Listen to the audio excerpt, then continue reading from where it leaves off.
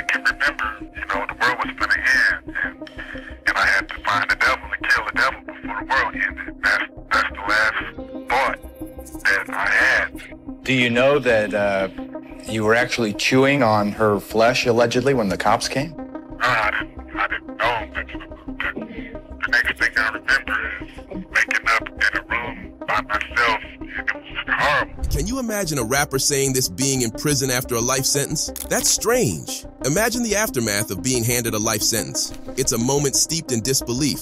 Yet here we are, about to delve into the intriguing reactions of various rappers faced with this stark reality. Join us as we navigate through the complexities, shedding light on how these rappers confront fame, fortune, and the unforgiving edges of the justice system. Big Lurch.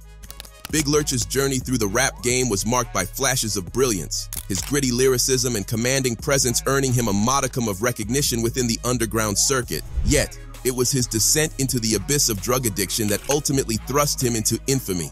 In the early 2000s, Big Lurch's life took a nightmarish turn that would forever alter his legacy. In April of 2002, the rapper, fueled by a potent cocktail of PCP and paranoia, committed an act so grisly that it would send shockwaves throughout the hip-hop community and beyond. The victim of this macabre tragedy was Tynisha Ysais, a 21-year-old woman whose life was brutally cut short in a manner that defies rational explanation. Isaias was found in her apartment, her chest torn asunder, with grotesque evidence suggesting that portions of her lung had been savagely consumed. The scene of horror didn't end with Isaias's grisly demise. Big Lurch, his mind warped by the effects of PCP, was discovered wandering the streets in a daze, his visage smeared with blood, a haunting tableau of madness and violence. The ensuing legal proceedings would offer little solace to those seeking answers in the wake of such senseless brutality. Singleton, standing trial for murder and aggravated mayhem, opted to plead not guilty because of insanity, citing his drug-induced psychosis as a mitigating factor in the heinous crime he had perpetrated. Despite Singleton's plea of insanity, the courts remained resolute, delivering a verdict that would irrevocably alter the course of his life. Acknowledging the influence of PCP on his actions, they deemed it insufficient to absolve him of responsibility for the heinous crime. Consequently, Antron Singleton, the artist formerly known as Big Lurch, was sentenced to spend the rest of his days behind bars, serving a life sentence for his barbaric deeds. In an interview with Geraldo Rivera from the prison, he said, I mean, all I can remember, you know, the world was gonna end, and, and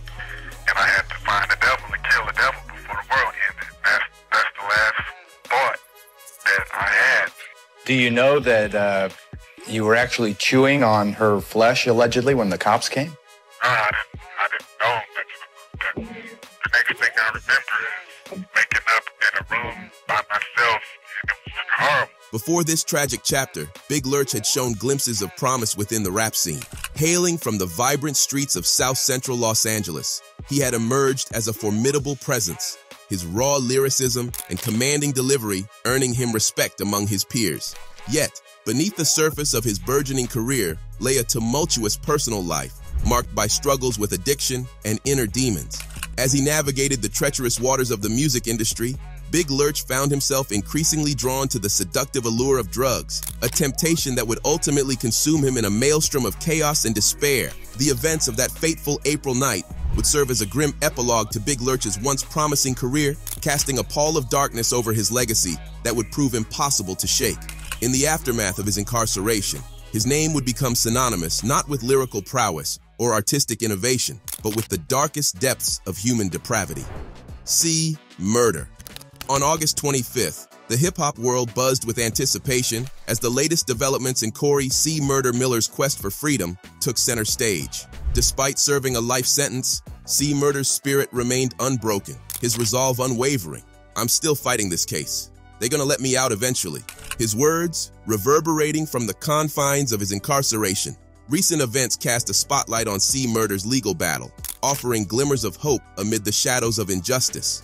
Witnesses once pivotal in his conviction have recanted their testimonies, their voices echoing like distant echoes of redemption. These shifts, coupled with the growing support from influential figures, hint at a potential avenue for a retrial.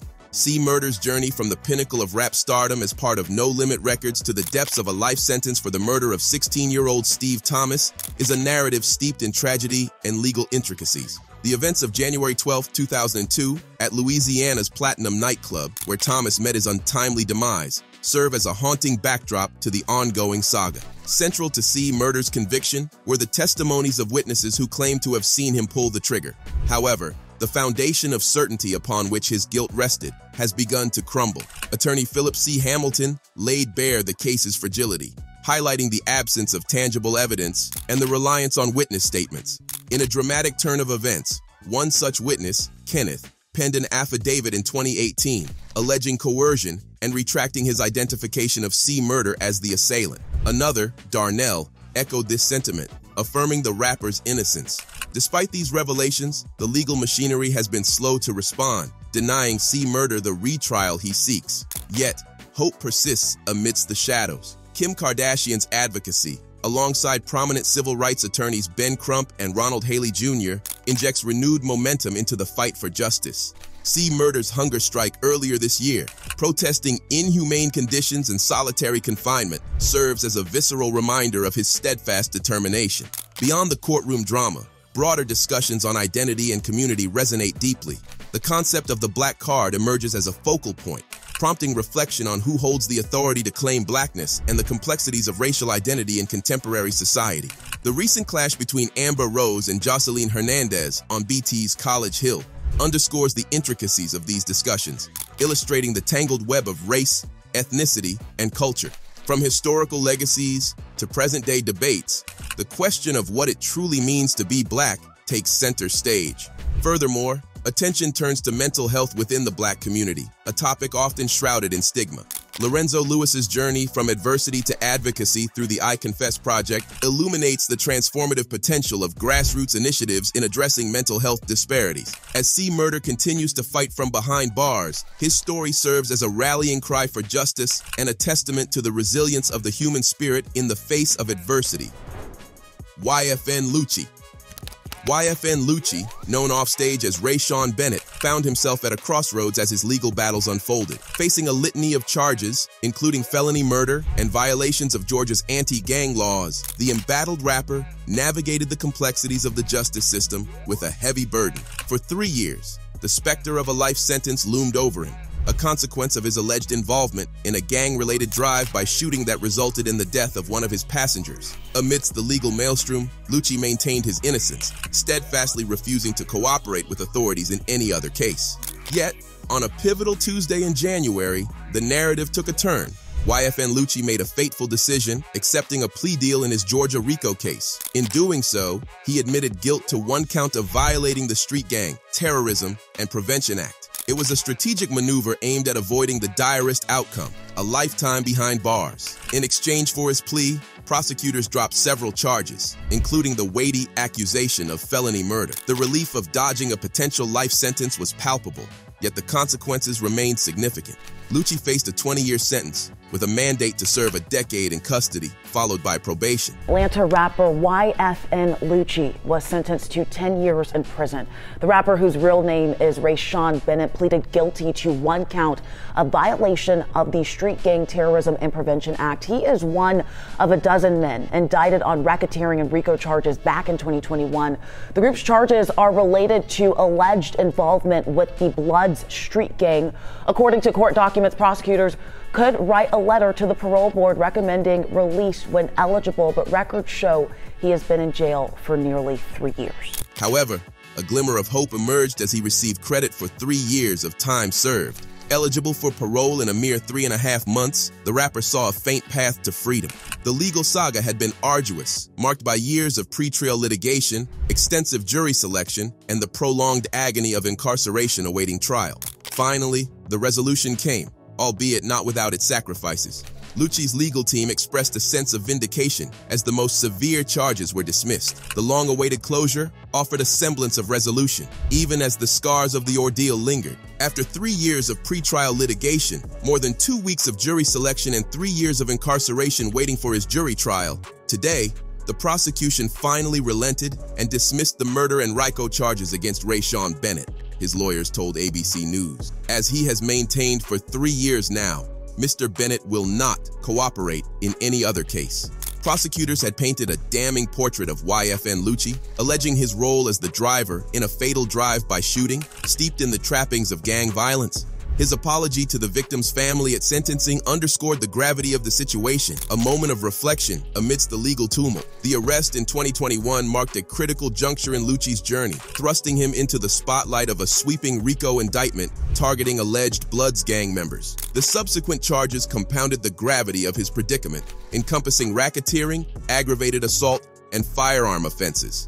Now, as the prospect of parole loomed on the horizon, YFN Lucci faced a pivotal juncture in his tumultuous saga. With his release potentially imminent, the rapper and his legal team harbored cautious optimism. Prosecutors signaled their lack of objection to his parole, paving the way for a possible return to freedom. For YFN Lucci, the road ahead remained uncertain, fraught with challenges and uncertainties. Yet, as he grappled with the ramifications of his choices, the promise of a new chapter beckoned, a chance to rebuild amidst the wreckage of a tumultuous past. Max B, in 2009, Max B, born Charly Wingate, faced the weight of justice with a 75-year prison sentence following his involvement in a deadly armed robbery.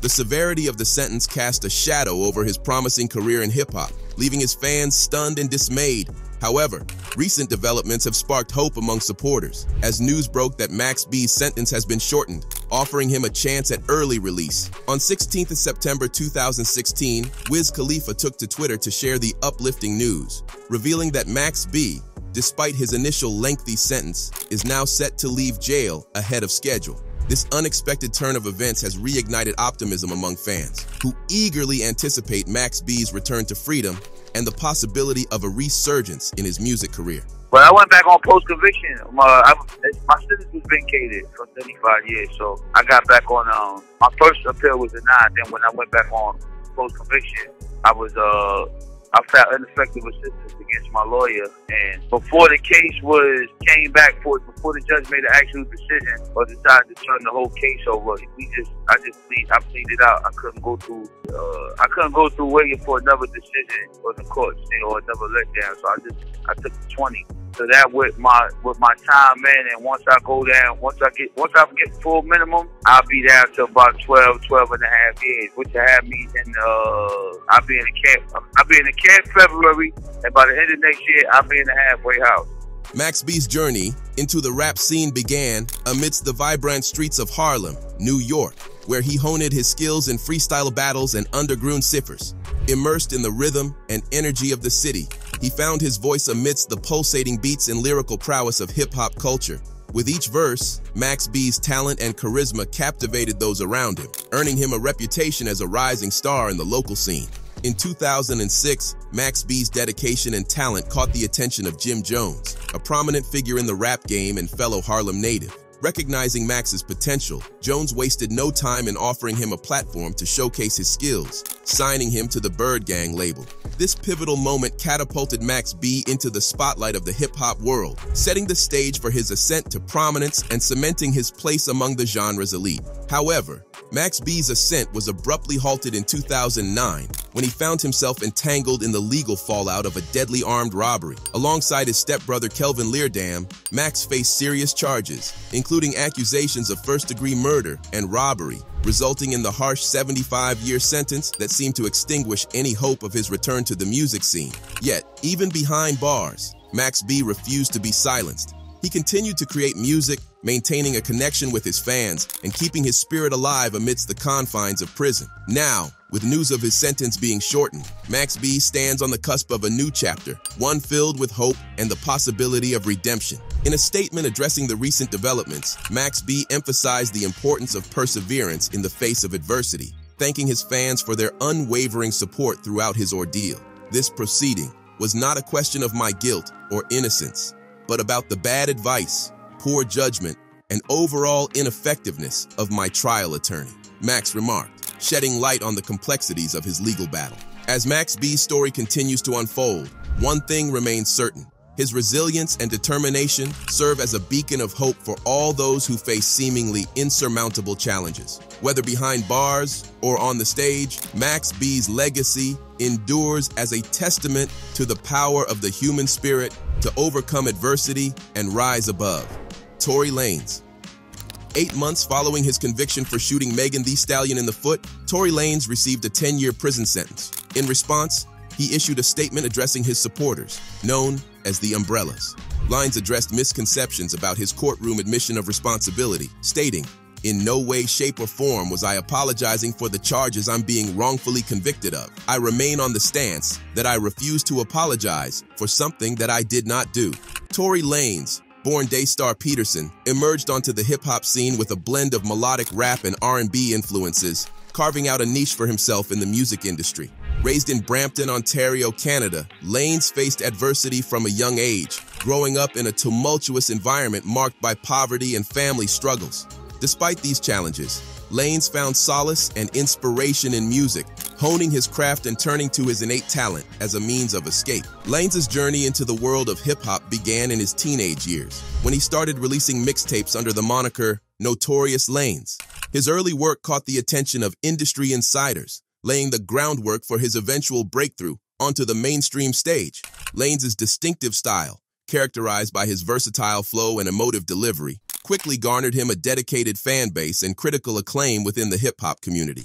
In 2016, Lanez achieved widespread recognition with the release of his debut studio album, I Told You, which featured hit singles such as Say It and LUV. The album showcased Lanez's ability to seamlessly blend rap and R&B influences, solidifying his position as one of the most promising talents in the industry.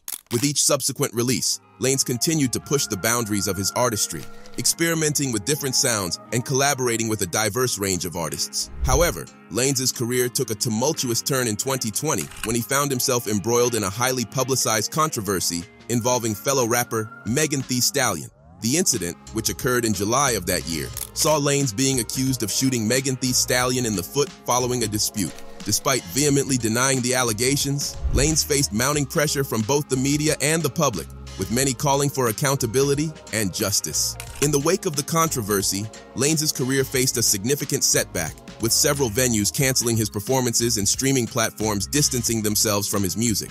The legal ramifications of the incident loomed large, casting a shadow over Lanez's once promising future in the music industry. Despite the challenges he faced, Lanez remained resolute in his determination to clear his name and salvage his reputation. Now, with news of his sentencing to 10 years in prison, Lanez finds himself at a crossroads, grappling with the consequences of his actions and the impact they have had on his life and career. In his statement addressing the sentence, Lanez expressed gratitude to his supporters, acknowledging their unwavering loyalty and steadfast belief in his innocence. However, he also remained steadfast in his refusal to apologize for something he maintained he did not do, signaling his intent to continue fighting for justice and redemption.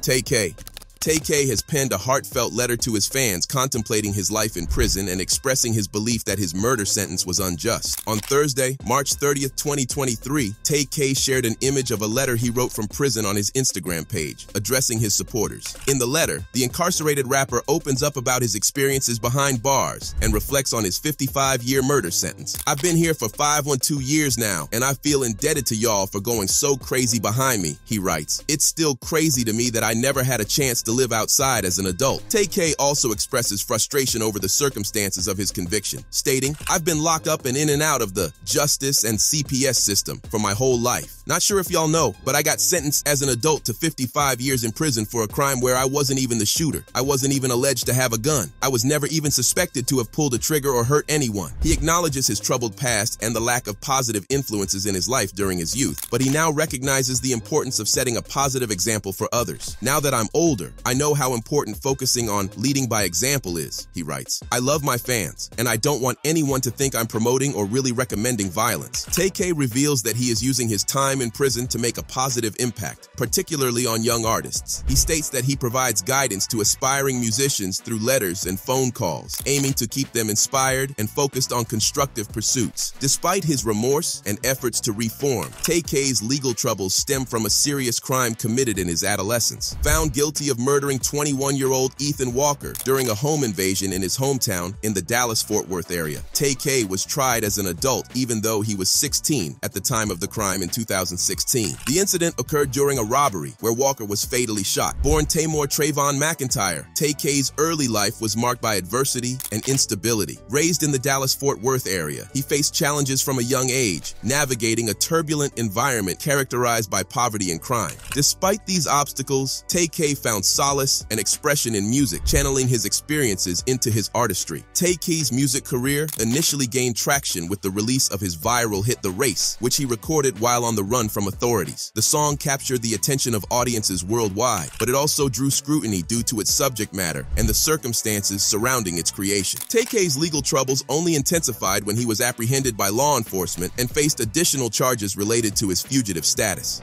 AR Ab the court don't understand my culture, the rapper insisted after a case that scrutinized his lyrics and social media persona. We don't rap about flowers and rainbows, we're gangsta rappers. A.R. Ab, a luminary in Philadelphia's rap scene, once commanded attention with his raw lyrics and unapologetic portrayal of street life. But on the day, a federal judge handed down a staggering 45-year prison sentence. Abdul West, the man behind the persona, faced the harsh reality of his choices. From the outset, West's journey was marked by adversity adversity and hardship. Raised in the unforgiving streets of North Philly, he found solace and expression in rap music, channeling his experiences into lyrics that resonated with a generation. His rise to prominence wasn't without its controversies, as his music often blurred the lines between art and reality. Throughout his trial, West's artistic persona came under intense scrutiny. Prosecutors dissected his lyrics and social media presence, arguing that they were more than mere entertainment. They were confessions of criminal activity. Despite assertions from his legal team that his music was a reflection of his environment rather than an admission of guilt, the court saw it differently. The sentencing proceedings were laden with tension as West, defiant in his demeanor, clashed with the legal system. He decried what he saw as a fundamental misunderstanding of his culture, insisting that gangsta rap was an authentic reflection of the harsh realities he grew up in. However, the judge remained steadfast, emphasizing that West's actions spoke louder than his words. The case not only raised questions about the authenticity of gangsta rap, but also delved into the broader issue of how art intersects with real-life consequences. West's music, once celebrated for its gritty realism, now served as evidence against him, a stark reminder of the fine line between artistic expression and criminal behavior. That's a wrap on the video. If you enjoyed it, check out one of these boxes too. I'll catch you on the next one.